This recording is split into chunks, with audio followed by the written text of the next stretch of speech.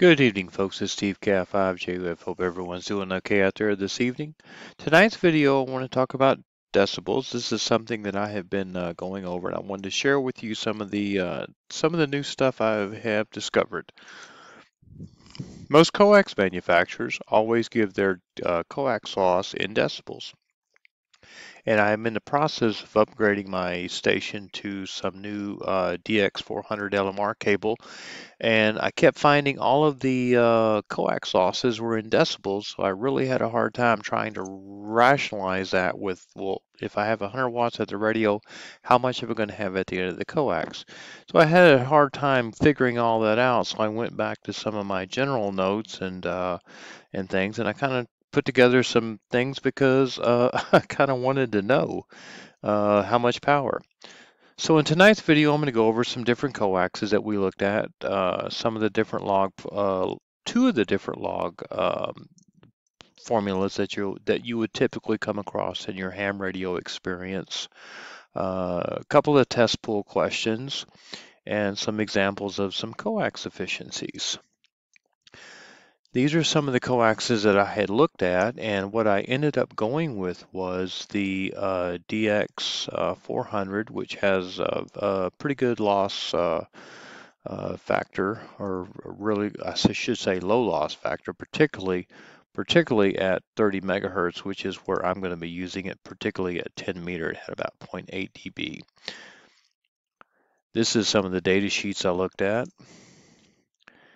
So here's the uh, reason why I made the video tonight. I wanted to show you if you're looking at a piece of coax, for example, and the coax manufacturer says, well, I have 2.4 dB attenuation at 100 feet. And by the way, most all coaxes are uh, attenuation is given at 100 feet. So just kind of an FYI there. That, that'll be a test question. It'll come up on the general. So just remember 100 feet. The question was, or my curiosity was, well, how much is 2.4 dB at 150 megahertz if I have 100 watts coming out of my radio? How many watts am I going to have at the end of the antenna? That's what I wanted to know. So that's why I made the video, is to show you if you have 100 watts here, how many watts am I losing down that coax? So that's what we want to know. In ham radio, there's essentially two common formulas that you're going to use, and it depends on what information is given in the particular question or the scenario. If you have the decibels available in your scenario or in your data sheet, for example, you would use this formula here. You would basically just follow this, this formula here. If you did not have the database, and for example, if the question is asking you for the decibels, I'm sorry, I said database, I meant decibels. If the question is asking you for the decibels, but in the question is giving you the units in the same unit, for example, watts, you might have maximum power here, and then you would have power measured. With this formula here, you could calculate the decibels. So two different formulas that you'll run across, and these are the two. And if you just get familiar with these, and you and you'll be good. These are the buttons here on the TI-30Xs, which is what I'm using in today's video. Just a quick example here. This shows you a uh, example of a 1 dB up and a 1 dB down. And on our calculator here, we'll do these. We'll do these real quick. We'll just do, for example, we'll do shift log and then we'll put 1 dB up divided by 10. And that's going to give us a factor of 1.26. So for example, if you have an antenna with a, a dB gain of 1. Dot, uh, of 1 dB, it's going to give you a factor of 1.26. So 10 watts coming out of your radio would equate to 12.6 watts in that particular radiation pattern. Same thing with 100 watts. Now, let's say, for example, you had a 1 dB uh, cable, excuse me, a 1 dB loss in the cable, we would do the same formula. And we would do a negation key 1. That's the negation key right there, not the negative key, but the negation key 1 divided by 10. And that's going to give us 79% efficiency through the coax, meaning roughly a 20% loss. So if you had a coax that manufactured with a negative 1 dBd, you would get 79% through the coax with about a 20% loss. This is the same thing with uh, 3 dB. We could do one real quick here. Shift log. If we had a 3 dB gain, that would be a factor of 2. So for example, if you have an antenna that has a 3 dB gain, a, a Yagi for example, you would have, instead of having 100 watts, you would have uh, 200 watts. But let's say, for example, you had a coax that had a minus 3 dB gain, RG58 for example, you would do shift log, negation key 3 divided by 10, that would give you a 50% throughput or roughly about a 49% loss on your coax. Now let's run, let's do a problem here. Let's say, for example, you're running a test and you have 100 watts coming out of your antenna or your radio, but your uh, testing shows 126 watts coming out of the antenna, for example. This is what you would do here. You would do 10 to the base log of 10, and our test shows 126 divided by 100 watts. That would be a dB gain of 1. But let's say, for example, you had a coax that had a minus 1 dB loss. We would do 10 to the log base of 10, 79.4 watts coming through the coax divided by 10 would give us, whoops, uh, I did that wrong.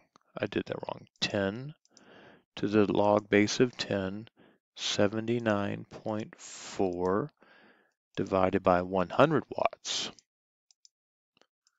That's going to give us a down dB of 1, or roughly a 20% loss. So that, that's how you do both sides of the equation. And here's one with a dB up and also dB down, same, pretty much the same idea. Uh, we can do one real quick here. 10 to the base log of 10. If we had 200 watts at the antenna in a particular radiation pattern over 100, that would give us a gain of 3 dB. But say for example we had a coax RG58X which has a pretty high loss, uh, we would do 10 to the base log and let's say for example we're only reading 50 watts divided by 100 that would give us a negative 3 dB gain or 50% loss. All right, so let's go back to our question here. We are shopping for coax. We're looking at this data sheet here and it says I've got 2.4 dB at 150 megahertz. So here's what we already know. We have 100 watts coming out of our radio on our test. Our frequency is 150 megahertz and we want to know how much is 100 watts here, how much are we going to have here? So let's do the math. There's two formulas we need to look at. Number one is, do we use this formula here or do we use this formula over here? So right now, looking at this, we already have, and this is what's important. Uh, you want to look at what is what is what information is available. We have the decibels. Now over here, we do not have the decibels. So this is the problem we're going to use. So let's go ahead and do this. There's the buttons we're going to use right there on the TI-30X. So let's do the math. We have in our problem, we have 2.4 dB at 150 megahertz. Well, how much loss are we going to have or how much power are we going to get at the end of the cable? So here's the formula we're going to use. Now let's go ahead and solve for this. We'll clear that out. We're going to type shift 10x negation key 2.4 over 10 times 100 watts. We have 57.4, 57 57.54 watts, which is by the way, let's take a look. That's exactly what we have here, 57 watts. So that's how you solve the problem. If you have 2.4 dB at 150 megahertz, this right here, this is the formula you use. That's how many watts are going to get through the coax. So that's how you work that type of problem. And there's our answer, 57. These are some test questions. We're going to come back to these probably in a different video, but uh, I wanted to kind of familiarize you with there are a lot of the test questions you can easily solve with the two uh, two formulas that I showed you because uh, I wanted you to just kind of have an awareness of this and I'll probably go back and do a different video on these differently uh, not just just so I could give plenty of time uh, the, the last thing I wanted to show you was decibels in gain and decibels in loss. So let's take a look at that real quick here. What's real important is what you're going to realize is in your world of decibels, there's three, six, and nine. Now, if you notice each one of these, three equates to double the gain, six equates to four times the gain, nine equates to eight times the gain. But just, just for an example, let's take a look at this problem here real quick. Let's take a look at this over here. We have a 3 dB gain, which is two times the gain.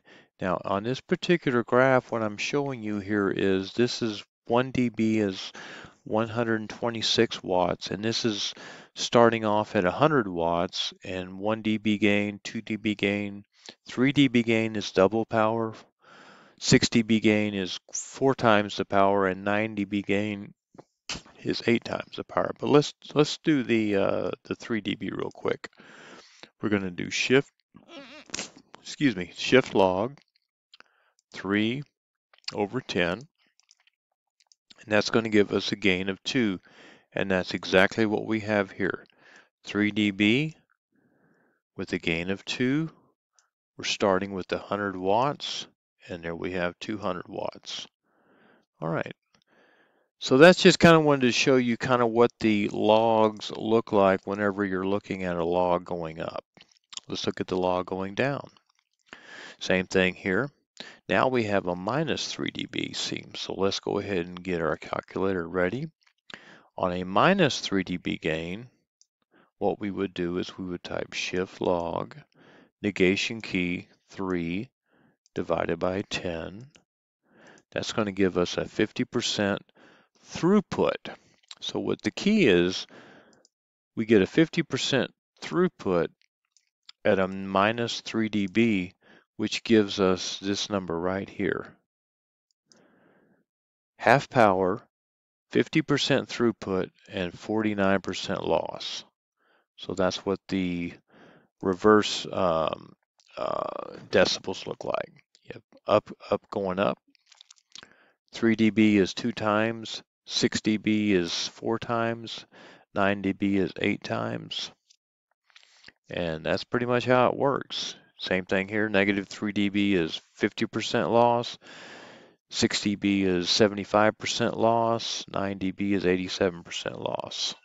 So anyway, that's how it works. So the main thing is you, we need to look for uh, when you're talking about decibels, if you have the decimals available to you, this is the formula that you're going to use. If you don't, you know, if you have the alternate one where it's giving you power measured and power maximum, this is the decimals you're going to use. So anyway, I hope this helps. There'll be more videos to come. I'm kind of taking a deep dive here, but uh, again, thanks again for watching 73 from KI5JUF, and uh, appreciate everybody watching. I'll get back to you. Really enjoy the comments, and uh, hey, this is fun. We're learning new stuff. This is my first decibel video, so it probably needs some improvement, but you know what? I thought it'd be fun just to kind of show you some of my learning experiences and some of my research. All right, 73, thanks again.